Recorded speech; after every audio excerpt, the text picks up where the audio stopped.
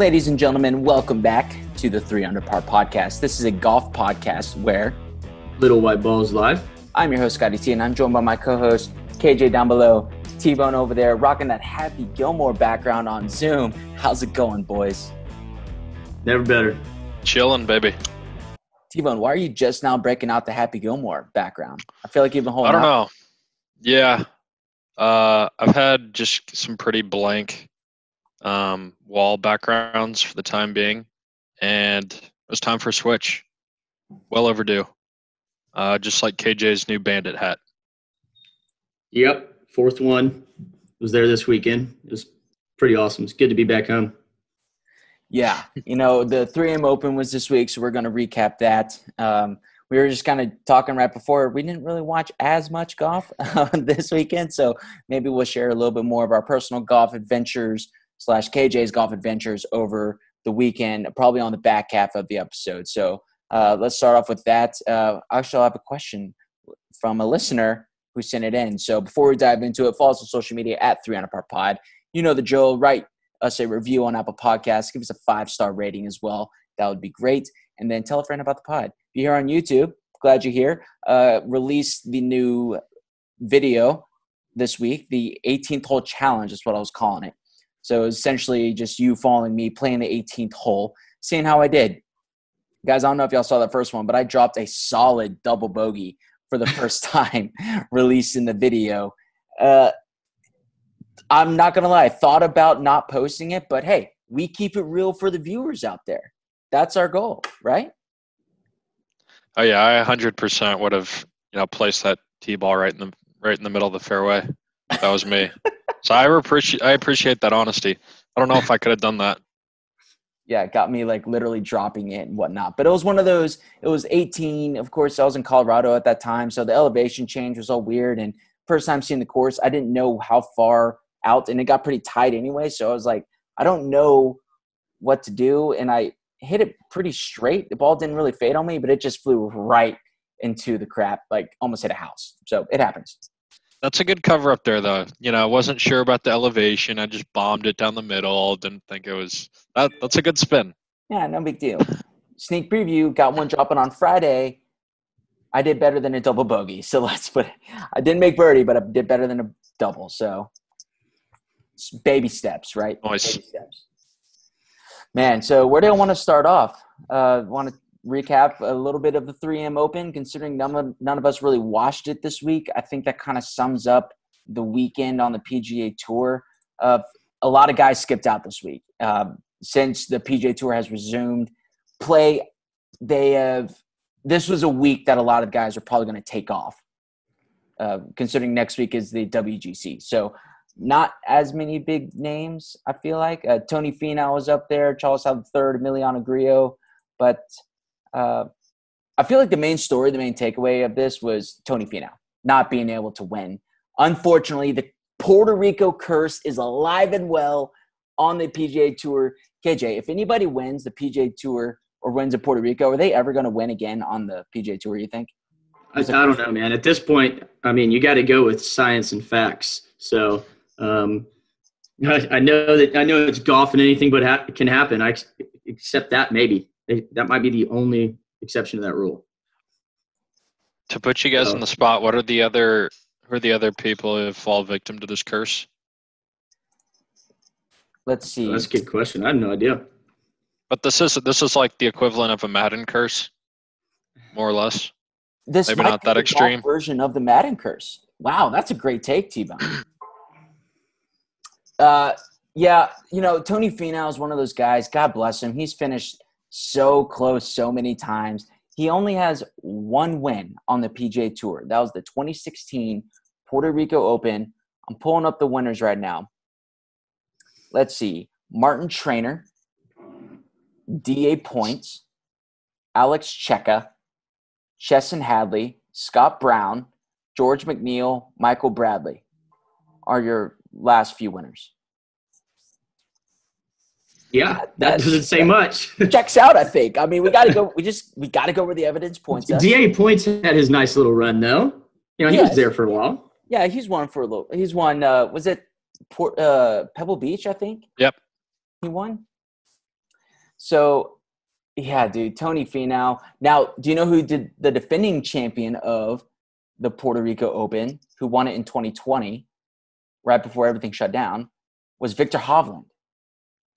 So I hope the curse. If anybody's going to break this curse, I think it's Viktor Hovland. Yeah, I'm not. I'm not too worried that that curse is going to hang on too long because uh, Viktor Hovland, he's been he's been showing some stellar stuff, and uh, at any point he's going to bust through there. Yeah, I think we all agree. Mark Viktor Hovland is the real deal. At least coming yeah. out, he looks really good. He just kind of has the hi, just go lucky attitude. Looks like he's high all the time, but hey, maybe that's what you need in golf. you have your stone cold killers like Brooks, and then Viktor Hovland. Yeah, uh, I think he's been overshadowed a little bit with all the Wolff hype, but coming out, you know, we all jumped on the Hovland train for sure. And Morikawa. Yeah, absolutely. I mean, Morikawa's got two wins now on the PGA Tour. Pretty sick. Uh, yeah, I forget the stats exactly what it is on Tony Finau, but Tony Finau, I think he's finished in the top five like 30 times hmm. or something like that. And I think people are harping on it a little bit more this week because it was a lesser field, a quote unquote lesser field. You know, you didn't have as many big names there. Brooks Koepka was there, but he didn't play very well. Shout out to his brother Chase, who finished higher than Brooks Koepka did this week. No big deal. Wow. Yeah, pretty sick, right? If any, if Tony Finau was going to break through, I think this week was probably a good week. But you know, he missed a couple of short putts. It just it didn't feel like he was going to win. And um, well, first off, we well not first off, we failed to mention Michael Thompson comes away victorious this week at the 3M Open. Look, he's one of those guys that's been back and forth. You know, went back to the Corn Ferry Finals, got his card back. He's done that a couple times. He's been living in that 126 to 150 range on the PGA Tour rankings, which is just brutal. I don't wish that upon anybody, but somebody got to do it. Michael Thompson has he he's played well before. Like I know we finished second at the U.S. Open in uh, 2012 at Olympic when Webb Simpson won. So like he's been around for a while, but DJ winning a couple weeks ago, I think, is a bigger deal just because it's DJ. He's a big name. But this is actually a quote unquote life changer for a guy like Michael Thompson. He doesn't have to live in that gray zone anymore. He gets job security for the next few years. So big shouts to Michael Thompson. He played really well. I want to give props to him on that. Yeah, no, again, I didn't really watch it at all, even in the slightest. But uh, one thing that I saw that was pretty cool was Michael Thompson used the putter that he bought when he was 16 at a Muni golf course in a pro shop, and as a you know old Ping Anser. I think I think that's pretty cool. Love it. Love it. That's the stuff that's relatable to the amateur golfers like that. Just buying a Ping Anser when he was 16 in the pro shop and uses it ever since, dude. I kind of love it. Uh, I mean, there were some fairly big names up there, like Max Homa. You know, he's a friend of the pod. Well, not friend of the pod. He's roasted me on Twitter before. No big deal. Um, so therefore, kind of a friend. I don't know. Max, you're always welcome to come on. Let's put it that way uh, Charles Howell III, Alex Noren, Masters champion Charles Schwartzel. Uh, so those were kind of the bigger names. See Schwartzel's hat. T Bone, I wanted to ask you about that. Let's jump to a little fashion corner with T Bone. What did you think of Charles Schwartzel's wardrobe slash hat fashion this weekend? Did you see it? Oh, nope. Looking it up now. Look it up because he looked like a younger Greg Norman. Oh man. Yikes. He's got the Michael Kors logo and uh I mean, I'm all for the straw hat. Um I, I think it's a great look. Right but this is this is like this is straight like it just doesn't work for him, I don't think.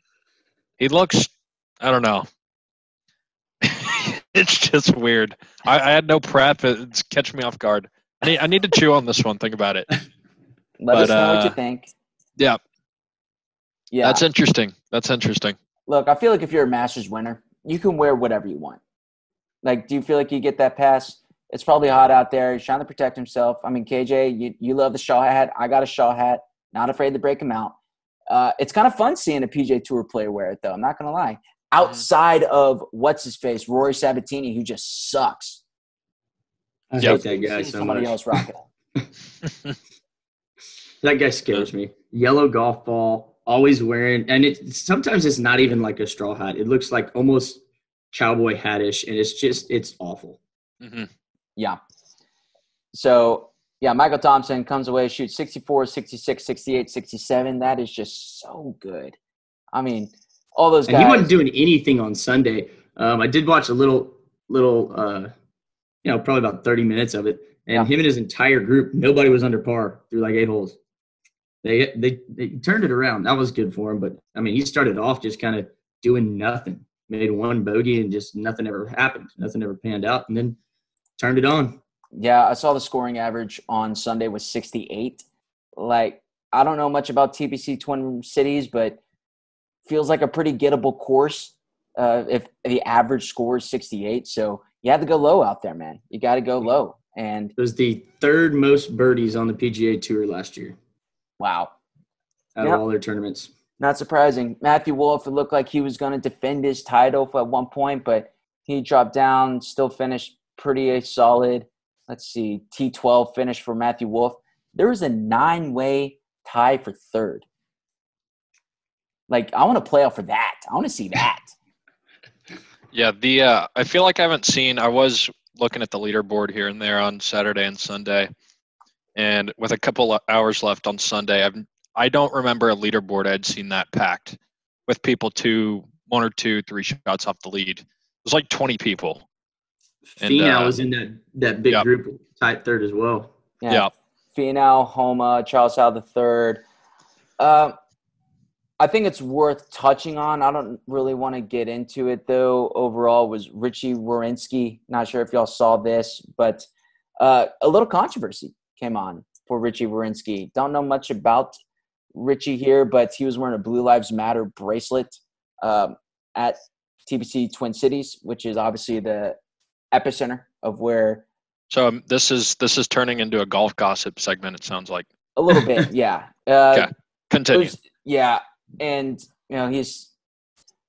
I don't really know what your opinions are on it, but I just feel like it's at least worth mentioning. Um, obviously, what happened with the George Floyd situation there is pretty terrible. So it's just people were roasting him on it, and you know I I don't really have much else to say on that. Just worth bringing it up because I don't think people really care about our opinions on much else besides golf because we're here to talk golf and keep people entertained the entire time, hopefully, while you're listening to this podcast. So that's all I have to say about that, unless there's anything else y'all would like to add No.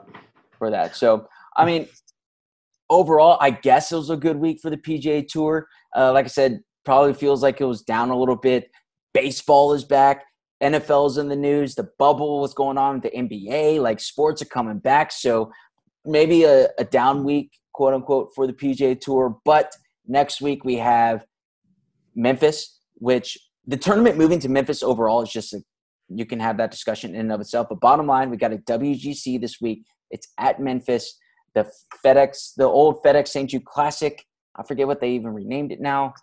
You know, sorry to that title sponsor, whatever hashtag no free ads. But I, I expect the field to be pretty good uh, this week leading up. What do y'all think? Yeah, I hope to see Tony Finau at least compete in it. You know, I I like the nicest guy on tour probably.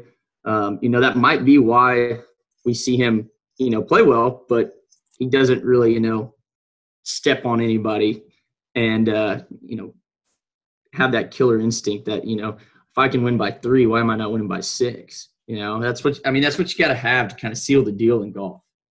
Just gotta put it put the gas all the way to the floor, just run over people. You got to have that mentality that you can do it. One thing about PGA Tour that I think starting to look uh, a little more promising than when it started was just the COVID situation in general. Looks like they're starting to get you know a pretty good grip on that. And if you follow the MLB, it looks like that could be ending tomorrow, with the Marlins having 12 or 13 people True. testing po- positive. Basketball's kind of figured it out, but I think basketball's figured it out because there's a bubble, and the fact that you still have people traveling and they're not getting COVID.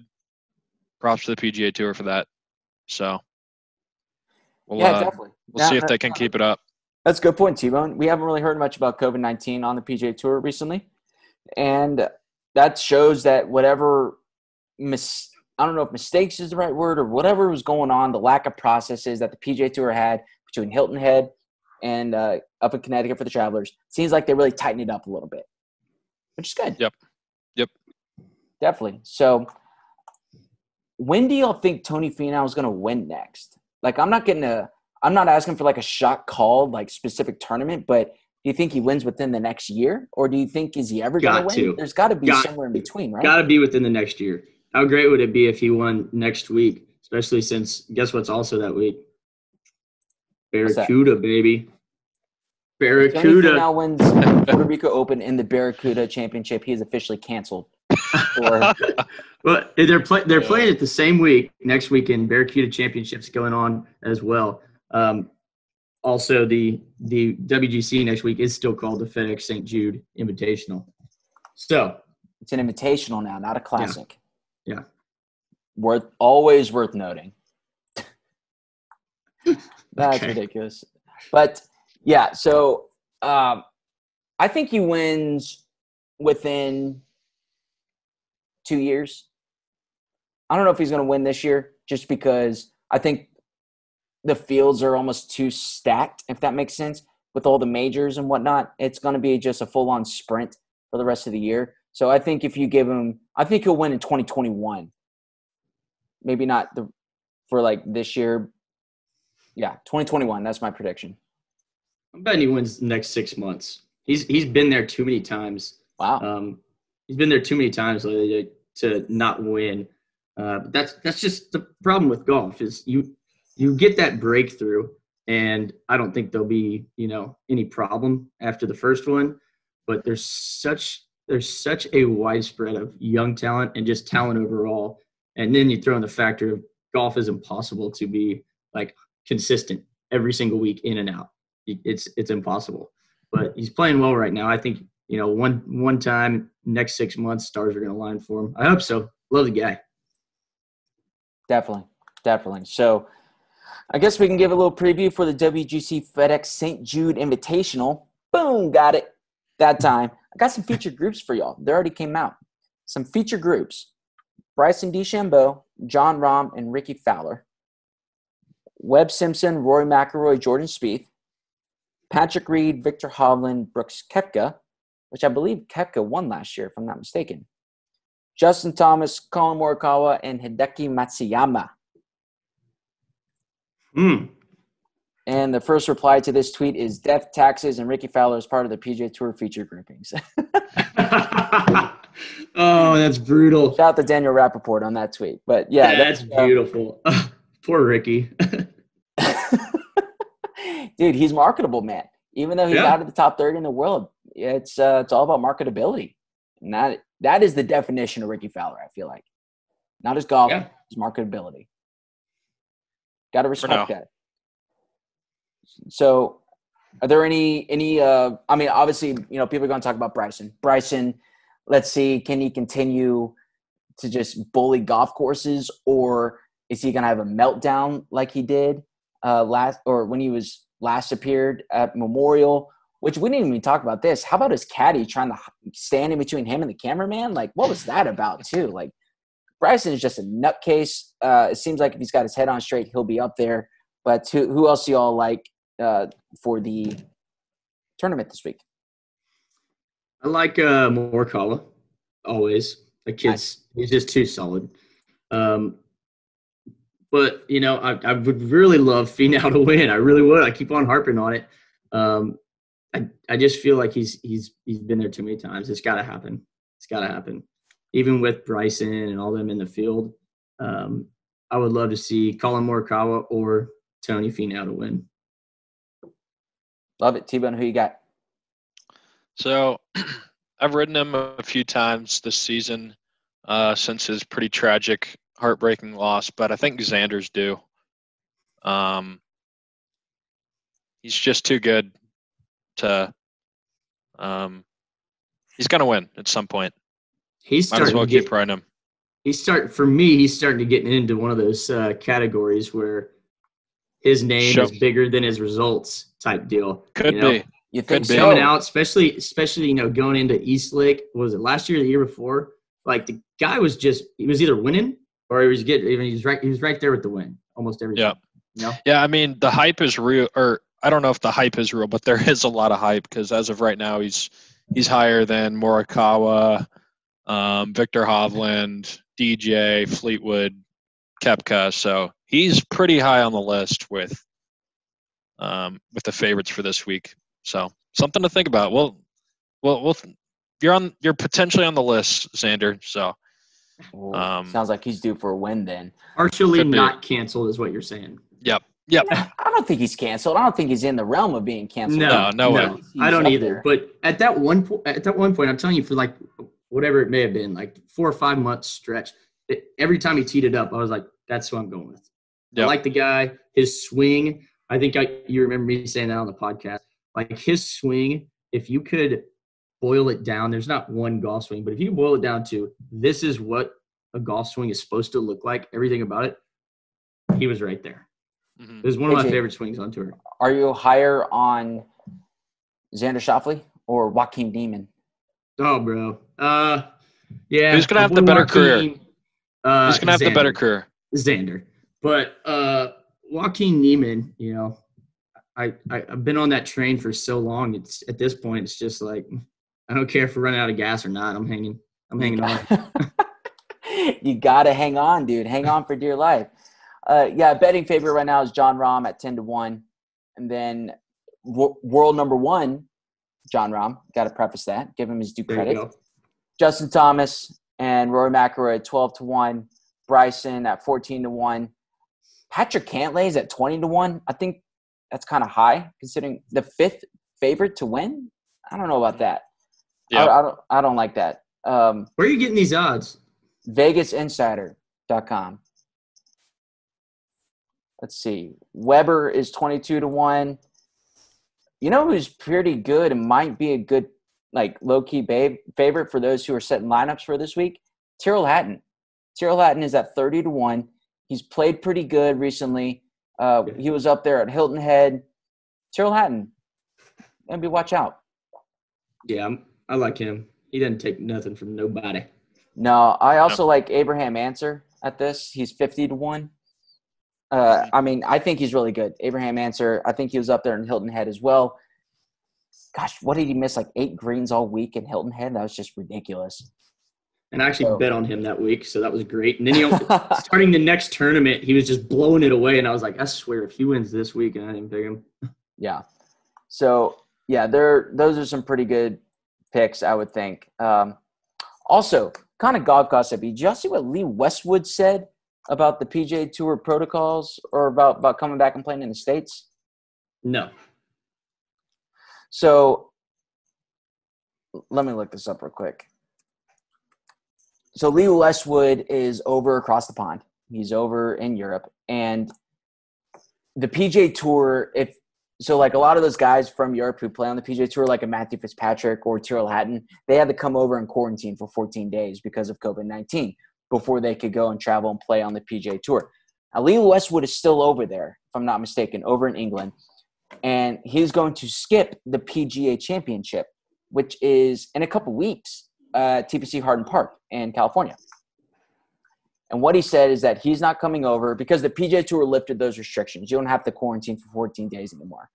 Uh, I'm not sure if I said that or not, but he said he's not going to play in the PGA Championship because America does not take the coronavirus as seriously as the rest of the world. And he doesn't. Is he wrong? I don't know. I think it Uh, depends on what part of the country you live in. Um, yeah, I don't know. Just worth mentioning.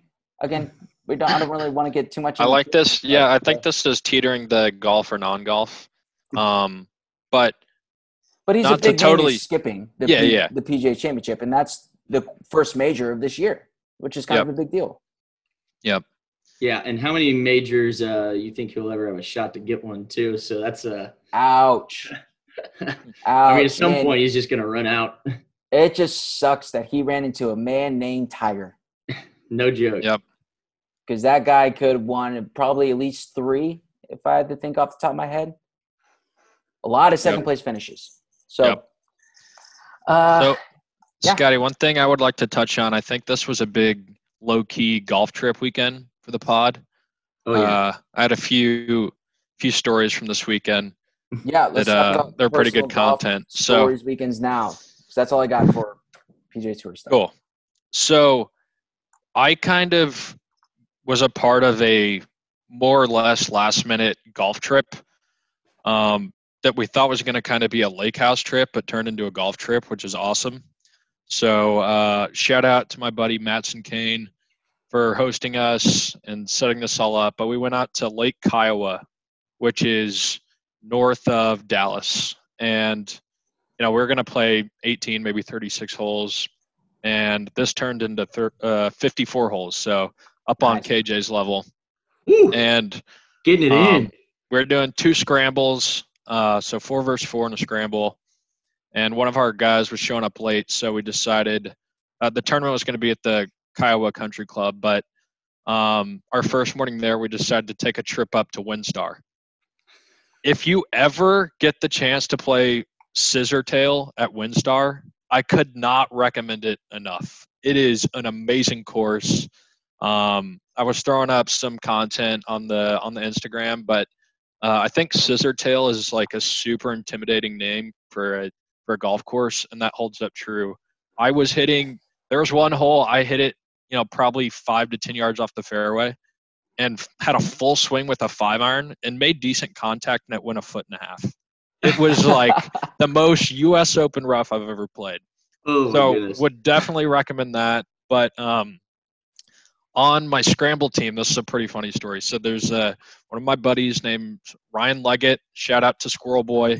Um, what a name. so yeah, nickname Squirrel Boy. Might have actually killed a few squirrels this weekend too with the Nice. tee shots he was hitting.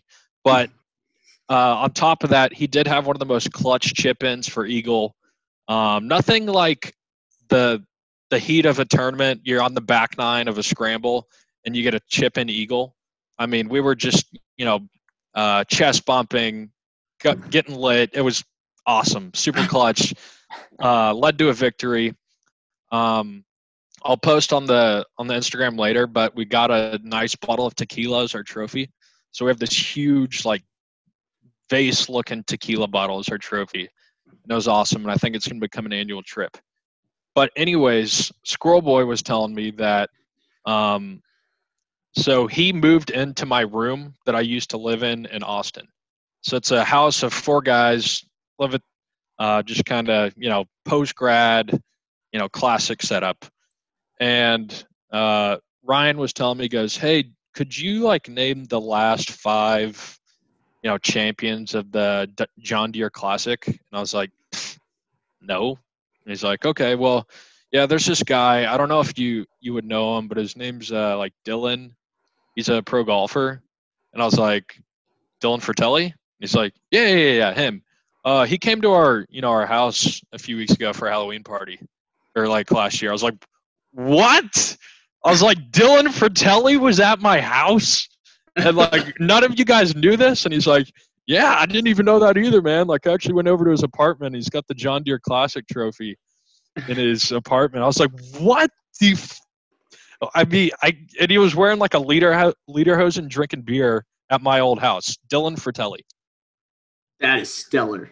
so there's a loose stellar. connection there that we'll see he said he might pull some strings see what we can do there but i couldn't believe that dylan frittelli was drinking beers at the house i used to live in with all my friends and none of my friends knew it so um, that was pretty crazy Dylan Frittelli, man. Yeah. John Nice. Deere Classic. He won the People's Major. Yep. Yep. But uh, overall, great golf weekend. Could not be more of a fan of a good golf trip that I think is turning into an annual event. Um, That's the way to do it. so uh, it was a good weekend. KJ, how think about you? KJ had some your golf- festivities as well. Yep. Golf adventures. Yeah, this was uh, this actually was planned as a golf trip. Um, we we left at 6 a.m. on Saturday morning. We drove to Kissing Tree in San Marcos, my neck of the woods. Um, played a course that I had not played, Kissing Tree, that I, I guess it was under construction. They had it closed for a while. Um, I just hadn't played it for some reason because we always played Bandit. Um, but absolutely beautiful golf course, hill country, uh, great greens. Um, I mean, couldn't recommend it. Couldn't recommend it any higher. It's it was beautiful. Um, we played two versus two scramble, me and Nate versus Dumpy and Mark, and then we drove to Bandit, played Bandit. Nice. Um, I started off with a 68 at Kissing Tree. Flex. Not 100% sure the total score at Bandit, but I felt I was okay. Um, and then we drove to College Station. We rented a house, played some bags pretty late, played some poker, then woke up the next morning um, and played Pebble Creek, and then which is in College Station. Uh, it's Stratford High School classic. Yeah, man. I don't know. I hate that course so much.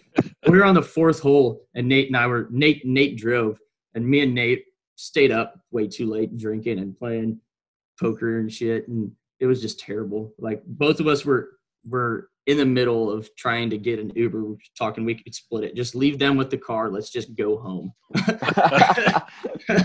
like we'll just split an Uber all the way back. Uh, but then uh, then we went to Houston Oaks. This was the bonus round. We got four rounds in.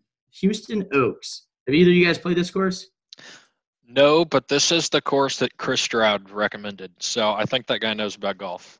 Unreal. First off, it was like 275 bucks to play, but we luckily enough we uh we knew a guy um, who actually I played in the member guest um, against uh, at Hearthstone Country Club. So we just fired off some emails and he had us out. And I get there, this is a nice place. I get there and I'm, you know, had a few adult beverages. I was like, I gotta eat something. So I go get a hot dog, mustard and Uh, ketchup all over it. I'm wearing a white shirt. I walk out, everybody's out there, and I fumble the hot dog and I catch it against my shirt. So now I have like this is my this is my favorite shirt from Kauri Cliffs in New Zealand. White shirt, light blue, um, FootJoy all over it, and I just dump hot dog, ketchup, and mustard all over it within the first five minutes of being at this very nice country club. I also have a picture of actually a video of Mark walking into the clubhouse. He's got his he's got his rain jacket over his head zipped up so he has just a little hole like this, walking around like this, and he's got a white claw in his head, stumbling in right up the main entrance. Oh my like god. we're gonna make a great showing here. That Yeah, video was course was- outrageous. Course was unreal. Like I got a video of 18, just beautiful property, like tons of space. Not one of those courses that they jammed 18 holes into. Absolutely phenomenal. Yeah, it's a it's kind of out there for those who live in Houston. I mean, it's a solid probably 50 minute drive. Yeah. But it is awesome. Totally worth it. I played it before they redid it, but I went out there for the Big 12 match play tournament I mean, about a year and a half ago now. And dude, love it. Heard nothing but fantastic things. It looks phenomenal. It- It's it's absolutely phenomenal. Beautiful holes too. Like not just scenic, but absolutely just landscaped perfectly. Nice layout. That's that was the best the best course of the trip, no doubt. You know how much I love Bandit. Yep. Also, shout out to McKay. McKay is a, he's a former uh, club golf teammate from Baylor University for me and T Bone. He ran Oh, yeah. into uh, KJ and the crew up a kissing tree. So shout out to McKay because KJ was rocking the three under par hat, which is clean, looks awesome. And shout out to McKay. So that was great. That was a hilarious story. I was confused. I was like, wait, Scott knows McKay, but Kyle doesn't. But it's Kyle, t-, and I was like reading that in the morning. It was a long night, and I, I was confused. But hey, glad the uh, the sponsorships getting out there a little bit. The yeah. the three under merch. I locked up the brakes. At Kissing Tree, there's like a you know a little stand right there where they come get your clubs or whatever. And I'm we go get our clubs, load up, and we're driving back past it. He goes, wait, wait. I just locked up the brakes. so that's again the first ten minutes of being at this place. Uh, luckily that was a different course, but he was like, "You part of the 3 Under Par Pod crew?" Yeah. They said, it. Yeah. Oh yeah, He no big deal. He was more aggressive than I was about uh, wanting a hat. So Good stuff. Yeah. Might be time for another order. Might be, yeah, maybe. Go get that merch game. so, uh, fellas, I think that's all we got. Uh, then we give in recap, preview for next week as well, recap from the weekends. I got a listener question, but we can save that for next week since we are running low on time right now. So, uh, KJ T Bone, is there anything else that y'all like to add before we close out of here? No, it was a good weekend. I think we nailed it. Great Yep. weekend. Hope everybody has a great week out there. Hopefully, play some golf as well. If not, then hopefully the golf will be good for the WGC FedEx St. Jude Invitational. So we appreciate That is hard to say. Yeah, it's a mouthful, right? I'll definitely be watching some of that one. I'm gonna take. I'm not gonna take the full weekend off from golf, but I'm gonna take a little bit of downtime. Recover a little bit, right? Well, we appreciate everybody tuning in. Uh, give this podcast a five star review, a five star rating, and then write us review on Apple Podcasts. And then um, give us a like, tell a friend about the pod as well. Uh, maybe we'll be getting into the merch game a little bit. I think I've gotten eh, all the golf balls and hats out to everybody. Um, shout out to the Sherwin crew. The Sherwin crew. I'll be coming by this week to give you your stuff as well. And uh, if you're watching on YouTube, thanks for tuning in, sticking with us this long. Comment below on what you thought of the tournament this week. Give this video a like, subscribe to the our YouTube channel as well. I'll be dropping a few more of those 18 hole challenges to see how I did my time in Colorado. Maybe we can get some good filming this weekend, boys, if we get out and play on Friday or Saturday. So cool. stay tuned for that. We appreciate y'all for tuning in. I'm Scott for KJ and T Bone. And remember, Little white balls life.